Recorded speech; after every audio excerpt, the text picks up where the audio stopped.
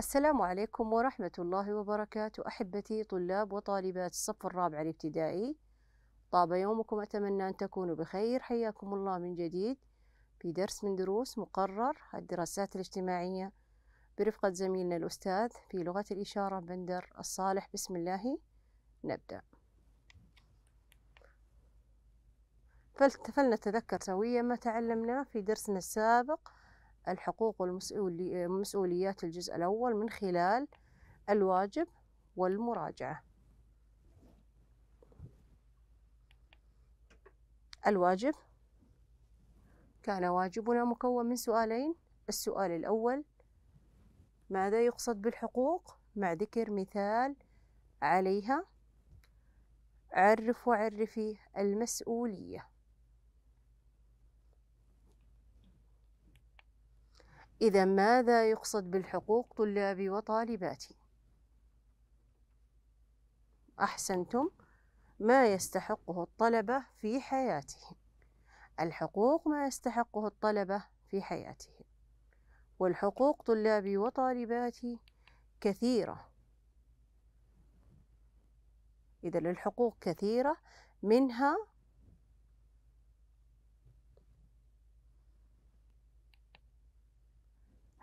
يحق لطلبة المدارس تناول وجبة غذائية صحية في أثناء اليوم الدراسي وقت الفسحة. إذا الحقوق كثيرة منها ما يحق لطلبة المدارس تناول وجبة غذائية صحية في أثناء اليوم الدراسي في وقت الفسحة. أحسنتم إجابة صحيحة.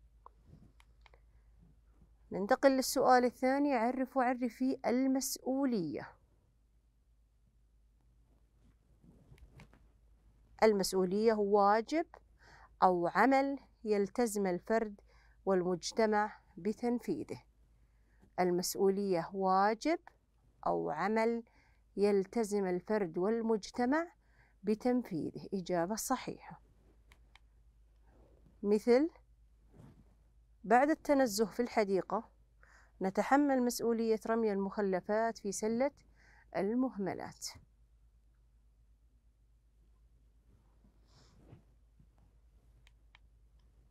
اذكر واذكري مثال على المسؤوليات. نراجع درسنا السابق. اذكر واذكري مثال على المسؤوليات. نعم مثال. بعد تناول أحمد وجبة طعام يتحمل رمي مخلفات وما تبقى من هذه الوجبة في سلة المهملات. إذا طلابي وطالباتي جميل جدا. حلكم وأداءكم للواجب. إجابات موفقة. بارك الله فيكم. أحبتي ما زلنا في الوحدة التاسعة المواطنة المسؤولة. انتهينا من الدرس السادس عشر الأسرة والمجتمع. تبقى لنا الدرس السابع عشر الحقوق والمسؤوليات في جزءها الثاني انتهينا من الجزء الأول.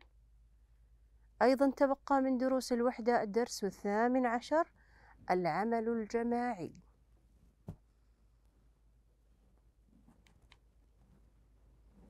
ما الهدف من دراسة هذه الوحدة؟ سوف أتعلم في هذه الوحدة مفهوم الأسرة والمجتمع وانتهينا من تبقى لنا مفهوم الحقوق والواجبات والمسؤوليات تعرفنا عليها على جزء منها في درسنا السابق واليوم بإذن الله نستكمل باقي الدرس. أيضا تبقى لنا فوائد العمل الجماعي. في درسنا السابق تعرفنا على الحقوق والمسؤوليات رقم واحد وذكرنا أن لكل فرد في الأسرة والمجتمع لكل فرد في الأسرة والمجتمع يحق له ماذا؟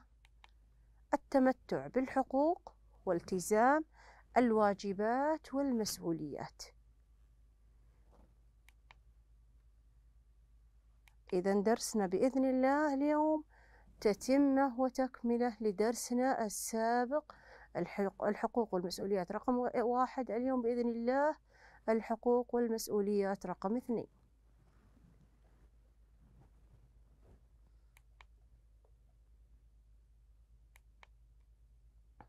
يحوي درسنا المحاور التالية.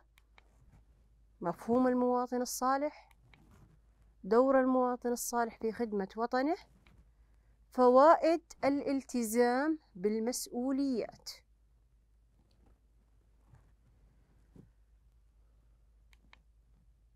يتوقع من الطالب والطالبة أن يبين مفهوم المواطن الصالح. يذكر دور المواطن الصالح في خدمة وطنه. يعدد فوائد الالتزام بالمسؤوليات.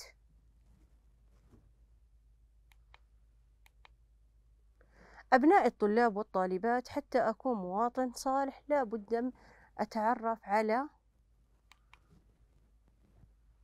حقوقي الحقوق والواجبات فما الحقوق والواجبات؟ الحقوق حقوقي في التعليم والصحة والأمن واجباتي واجباتي طاعة الملك والتزام النظام والدفاع عن الوطن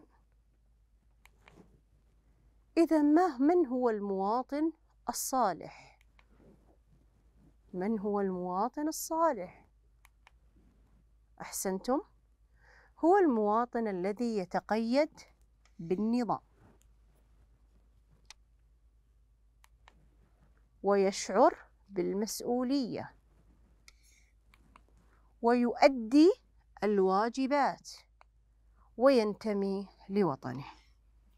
إذا من هو المواطن الصالح طلابي وطالباتي؟ هو المواطن الذي يتقيد بالنظام ويشعر بالمسؤولية ويؤدي الواجبات وينتمي لوطنه. إذا نستنتج مما سبق طلابي وطالباتي أن المواطن الصالح هو المواطن الذي يتقيد بالنظام ويشعر بالمسؤولية ويؤدي الواجبات وينتمي لوطنه. إذا ما هو؟ من هو المواطن الصالح؟ طلابي وطالباتي. نستنتج مما سبق أن المواطن الصالح هو المواطن الذي يتقيد النظام ويشعر بالمسؤولية ويؤدي الواجبات وينتمي لوطنه.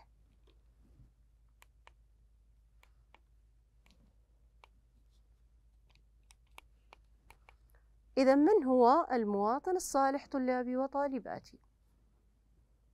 أحسنتم بارك الله فيكم. هو المواطن الذي يتقيد بالنظام ويشعر بالمسؤولية ويؤدي الواجبات وينتمي لوطنه. إجابة صحيحة بارك الله فيكم. إذا هذا هو المواطن الصالح.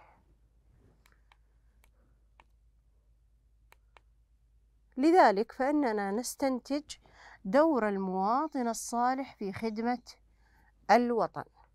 ما هو دور المواطن الصالح في خدمة الوطن؟ لاحظوا معي. يؤدي المواطن الصالح دورا مهما في خدمة وطنه من خلال واحد التميز في العمل. أحسنتم. بارك الله فيكم. أيضا التزام النظام والتقيد بالنظام. كذلك الحرص على الأمن. أيضا الصدق والأمانة إذا ما هو دور المواطن الصالح في خدمة الوطن؟ يؤدي المواطن الصالح دورا مهما في خدمة وطنه من خلال التميز في العمل التزام النظام الحرص على الأمن الصدق والأمانة إذا اذكر واذكري دور المواطن الصالح في خدمة وطنه. طلابي وطالباتي. بارك الله فيكم. التميز في العمل إجابة صحيحة. التزام النظام ممتاز. الصدق والأمانة أحسنتم. الحرص على الأمن إجابة صحيحة.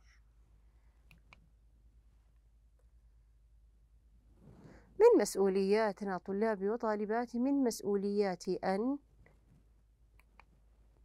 أتجنب التلفظ على الآخرين بكلمات غير مقبولة. أتجنب المواقع غير المناسبة لعمري.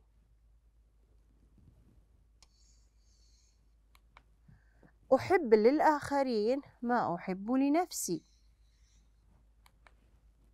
لا أتواصل مع من لا أعرفهم.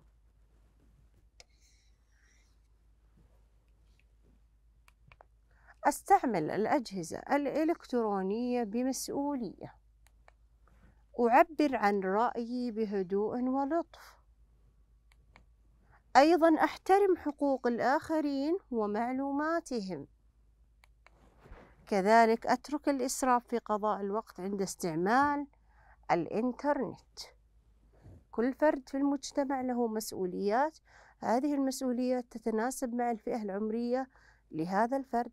لدينا أحمد ونورة يتحدثان عن مسؤولياتهم. يقولون من مسؤولياتي أن أتجنب التلفظ على الآخرين بكلمات غير مقبولة أتجنب المواقع غير المناسبة لعمري أيضا أحب للآخرين ما أحب لنفسي لا أتواصل مع من لا أعرفهم أيضا أستعمل الأجهزة الإلكترونية بمسؤولية. أعبر عن رأيي بهدوء ولطف. أحترم حقوق الآخرين ومعلوماتهم. أترك الإسراف في قضاء الوقت عند استعمال الإنترنت. ننتقل طلابي وطالباتي للكتاب المدرسي للإجابة على النشاط رقم اثنين صفحة 111 النشاط يقول يضع الطلبة العبارات الآتية في مكانها المناسب طبعا في الجدول. العبارات الحصول على تغذية. العمل بجد. احترام الآخرين. الحصول على عناية صحية. الحصول على تعليم. بحيث نصنف هذه العبارات إلى حقوق وواجبات. من الحقوق أحسنتم الحصول على تغذية صحية بارك الله فيكم. أيضا الحصول على عناية صحية إجابة صحيحة. كذلك من الحقوق في العبارات السابقة الحصول على تعليم. من الواجبات في العبارات السابقة العمل بجد ممتاز. احترام الآخرين احترام الآخرين. إذا نعيد من مرة أخرى طلابي وطالباتي العبارات بعد تصنيفها إلى حقوق وواجبات. الحقوق الحصول على تغذية صحية. الحصول على عناية صحية. الحصول على تعليم. بينما الواجبات العمل بجد احترام الآخرين إجابة صحيحة.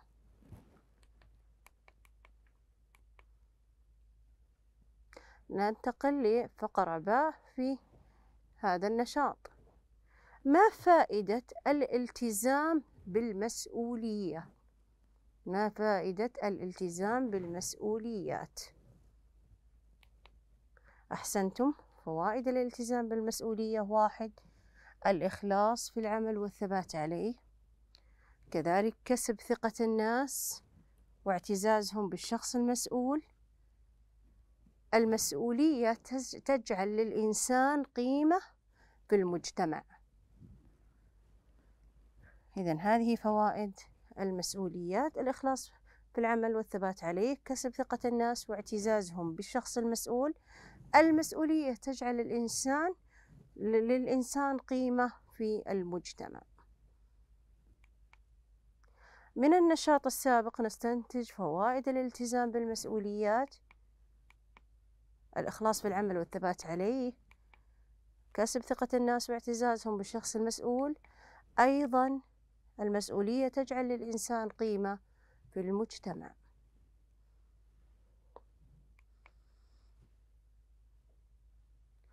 لنختار المفتاح المناسب لفتح القفل أمامنا من خلال الإجابة على الأسئلة القادمة. اختار المفتاح الأول.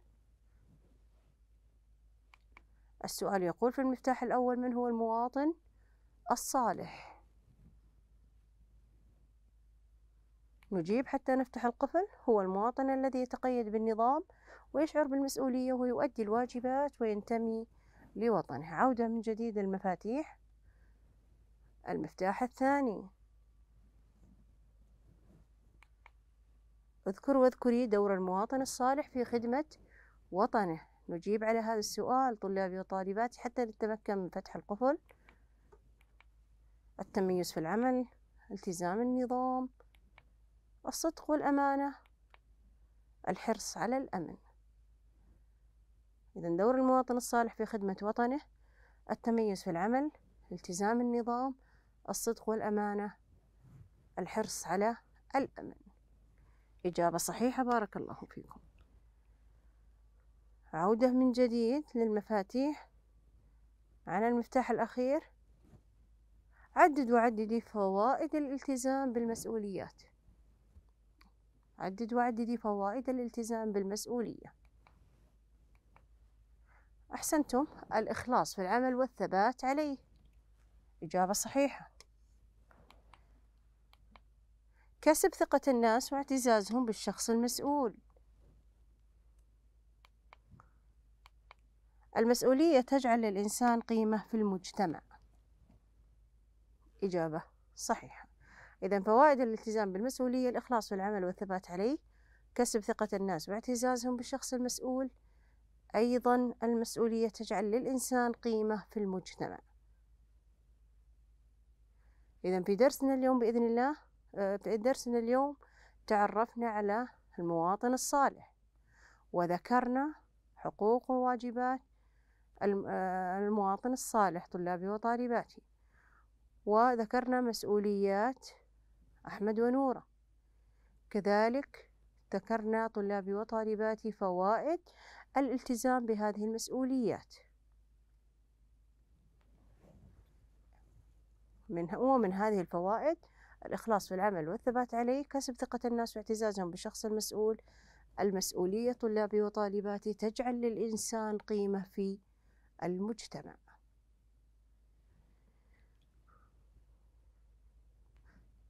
في نهاية هذا الدرس نستنتج طلابي وطالباتي الحقوق التي يتمتع بها الفرد في المجتمع والواجبات والمسؤوليات التي يلتزم بها طلابي وطالباتي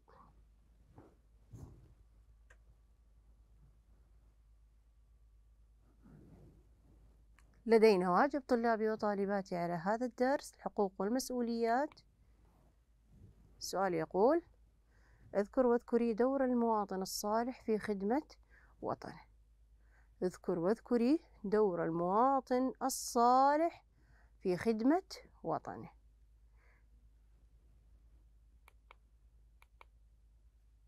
هيا بنا طلابي وطالباتي لنلخص سويا جميع المعلومات التي تعرفنا عليها من حيث مناقشتنا في درسنا المحاور التالية.